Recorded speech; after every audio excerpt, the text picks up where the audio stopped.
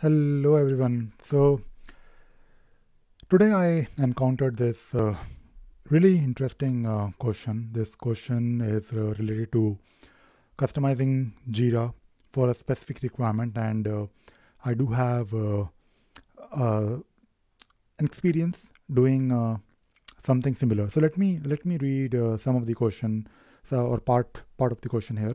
So the question is from Mohit. Mohit is looking for a developer to customize uh, Jira instance. And uh, what Mohit is uh, trying to do here, I think he is using Jira or he's trying to use Jira effectively for for the production schedule and assigning the work.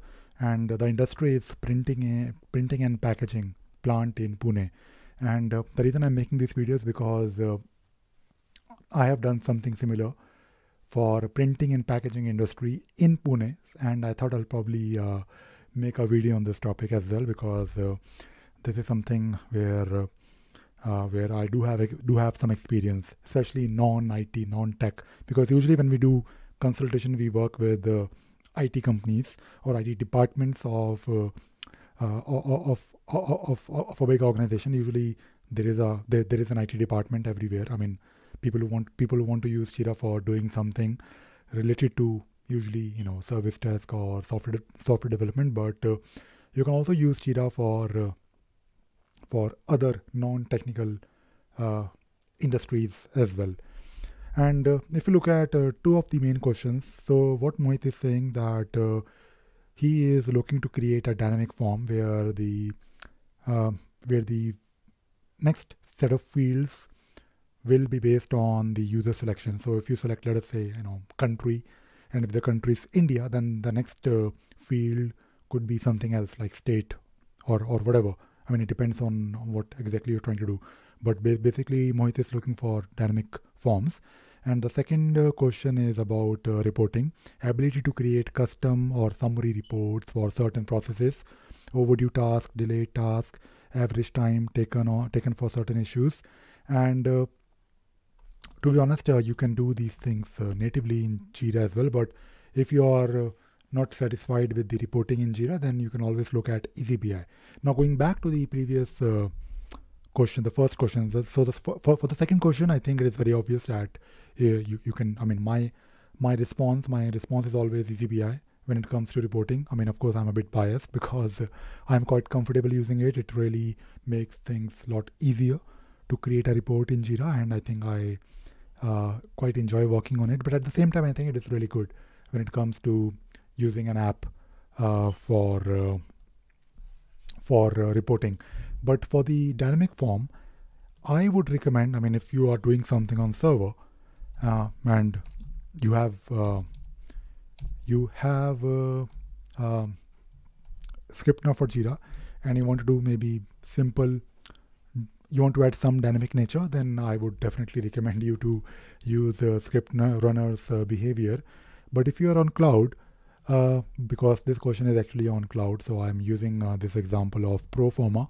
So Proforma is a uh, it, it is an app that was recently, I think, few months back, acquired by Atlassian, and you can use this app to create uh, dynamic forms within Jira, and not just Jira, but in case you're using Jira Service Desk, you can also use or Jira Service Management, you can also create dynamic forms on your uh, Jira Service Management uh, portal, for example. But this would be my another recommendation. And uh, because you're saying looking for a developer to customize a Jira instance, so I would say because you have mentioned here, Mohit, that you already have a decent understanding of how Jira works, because of course it is not really a massively complicated tool. But uh, if you want to customize it further, I would say try to do it yourself because uh, if you install these apps you don't really need to like write any code or anything. I mean you just need to use the app and configure it. For eazyBI i do have uh, like a playlist for eazyBI uh, which is uh, something that you can i think you can definitely do. Even if you have non-technical background i think uh, if you want to learn something uh, like this you want to use jira properly by customizing it and maybe you want to learn a couple of apps, I think you can do it yourself. But in case you're looking for uh, a partner or a developer, I would say go to the Atlassian uh, partner portal where you can find partners in India um, that can, I mean, they can probably help you. They should be able to help you because that is what they do. Or uh, you can search in your local market, or maybe just do a simple Google search Atlassian consultant, Jira consultant in India or Pune, um, and you will definitely find people who can help you. And uh, I would still say, uh, try try it yourself. You can. I'm sure if you have some experience doing things on Jira yourself, you should be able to uh, use these apps. But do take a look at these apps, evaluate them, and then see if these apps work for you or not.